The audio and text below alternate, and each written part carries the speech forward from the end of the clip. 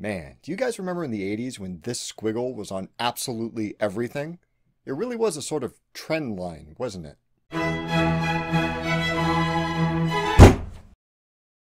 Surprise! Oh, um, hi. I guess you weren't surprised by that. But have you considered why you weren't surprised by that? Why some things are surprising and others aren't? Surprise is the feeling that you get when you discover that your mental representation of the world is inaccurate in some way.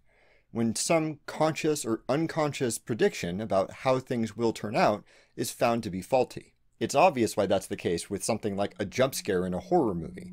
You expect the scene to continue on as per usual, and then suddenly, ah, orchestra hit scary monster, ah, surprise. But there are also more subtle versions of surprise which we encounter daily.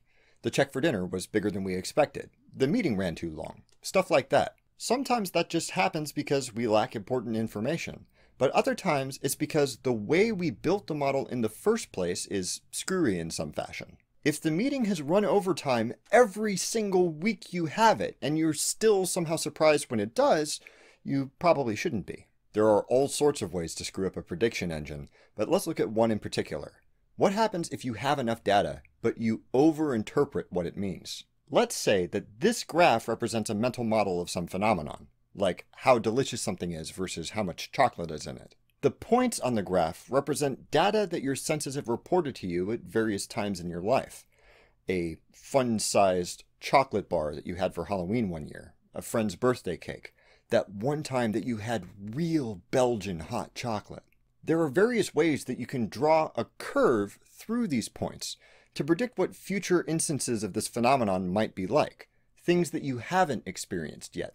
If you just drew a straight line that got as close as possible to all of the existing points, it might tell you that some ice cream with some chocolate syrup on top, that would be pretty good. But with chunks of decadent fudge instead, that would be even better. Or you could try a slightly more complex curve, something more like this. This tells you that up to a point, more chocolate is better, but there are decreasing returns after a while. Yes, fudgy ice cream is probably better than ice cream with chocolate syrup on top, but quadruple chocolate fudge on chocolate ice cream with chocolate syrup and chocolate sprinkles on top? I mean, it's good, but it's not all the way up here. You'll notice that the second curve also gets much closer to hitting those existing data points than the first curve does. One might imagine that the best possible mental model absolutely nails every single one of them exactly.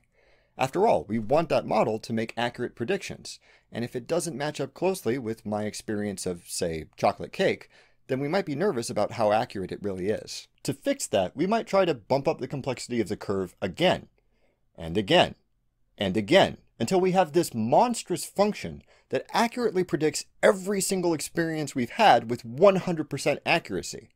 But watch what happens to that function when I feed it one more data point, a chocolate eclair, and then adjust it to fit. This says that if I eat something in between hot chocolate and cake, it's going to be the most disgusting thing I've ever put in my mouth? What? The problem here is that the more complex function, although it's very good at fitting the data points we've already gathered, is very sensitive to new bits of information. It's liable to fly out of control if we feed it anything that isn't exactly in the right place. It's not just fitting the available data, it's what data analysts call overfitting. The things that we experience are subject to an amount of background noise, random variations that can't really be accounted for, and that's a problem for highly sensitive models of the world. Like maybe when I had that birthday cake, I got an especially dry slice, or I was feeling congested that day and couldn't enjoy it fully, or any number of other factors which colored how my senses reported that particular data point. With respect to how we think about the world, overfitting manifests as an over-reliance on rare events to be representative of how things usually work. Because of that background noise, really weird one in a million events will happen. And if we try too hard to crowbar them into our models of the world, we're going to end up with some really kooky predictions. This is exactly how superstitions and weird phobias get started. Imagine someone who experiences an engine failure on their plane, a 1 in 1.5 million chance that usually doesn't result in a crash, and yet they still become paranoid of air travel. In their experience, even if they fly a lot, trying to fit that one data point too closely instead of treating it as a bizarre fluke, which it is, might lead them to that irrational conclusion. Unfortunately, we do live in an age of information, and a lot of the information that makes it past our well-trained attention filters isn't information about the normal, boring, or pedestrian. It's usually about those one in a million events that we've never seen before and likely never will again. I mean, we call it the news, not the same old same olds. Just think of the effect of hundreds of news stories inflating the psychological weight of a few rare and unrepresentative events, and how that might totally screw up someone's ideas about what's likely to happen. Overfitting also crops up in many other contexts, where a person or organization gets obsessed with explaining or optimizing one particular data point. It's a notorious problem in business, where naively incentivizing certain metrics leads to weird system gaming behavior. Like Christmas creep is the result of overfitting the metric better sales numbers than this time last year, despite the fact that improving that number doesn't improve total sales at all. It might be a little counterintuitive, but sometimes, to make mental models better at predicting the future, they have to be less sensitive to changes in certain variables. That can mean allowing for more background noise when considering some variables, or it can mean just straight up ignoring some of them. Reference class forecasting is pretty much exactly that. Instead of getting bogged down in all of the details of a problem, accounting for every data point and all of the bias that comes with them, it instead asks us to figure out what kind of prediction problem we're looking at, what class it belongs to, and then simply assume that it's going to turn out more or less like all of the other ones. For example, if I wanted to predict how long it would take me to write and produce this episode of Thunk, my first impulse is to consider a boatload of specifics. How complicated is this topic? How much research do I think I'll have to do for it? How many images can I reuse to illustrate my points instead of having to find new ones? There are probably at least 20 or 30 criteria that I might use to estimate what time I'll be able to hit upload tonight, each one of which is subject to bias and potentially overfitting. But in reference class forecasting, I dump all those variables in the trash and just look at two numbers, the average length of time it takes me to make an episode, any episode, and the distribution of those times. That is, how many take me forever to make, and how many take a little less than that. I only have to make an intuitive judgment about where in that distribution this episode might sit, and there's my prediction. The end. That might seem a little bit drastic or haphazard at first. After all, I've got all these tasty tidbits of information that absolutely have a measurable effect on how long it takes me to make an episode, and I'm just going to ignore them?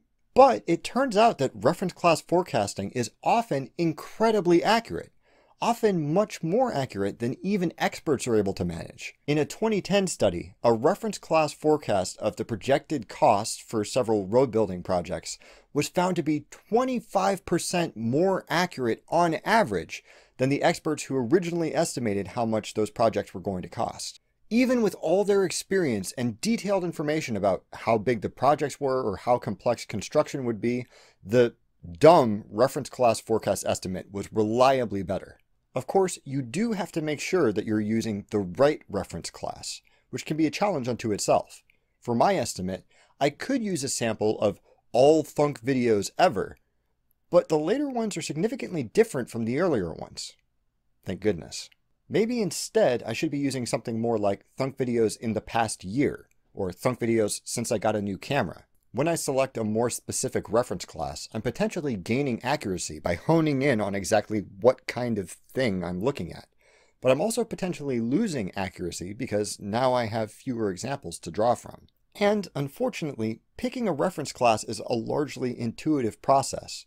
If you think that I'm using the wrong reference class for my forecasts, then we might get vastly different answers with no real way to tell who's right. To address that, we might use a different tool that's used to deal with overfitting and other problems with predictive functions, cross-validation. Cross-validation is used to check how well an existing model works when applied to new information. Rather than feeding every available data point into it to really fine-tune it, we instead hold a few of them back to see if the model can predict them accurately. For example, let's say that you and I were trying to figure out where we should go for dinner, and disagreed about the most appropriate reference class for a particular restaurant. I think that we should be using the reference class of Italian restaurants, which predicts a high likelihood that it'll be delicious. Whereas you think that we should be using the reference class of restaurants in this area, which unfortunately predicts a low one. After some thinking, we realize that we know someone in this area who has probably eaten at that restaurant. But instead of calling her up immediately to get her opinion, we write down what we think she's likely to say based on our respective models. I think that she'll say something like, Oh my god, be sure to try the bolognese. Whereas you think she'll say something more like, It's alright if you want a basic slice of pizza, but nothing special. When we call her up, she gives an answer that's more or less what you wrote down, so we know that your model is more likely to be accurate. And so we're probably better off driving to a different area to find someplace to eat. Maybe some really good Italian.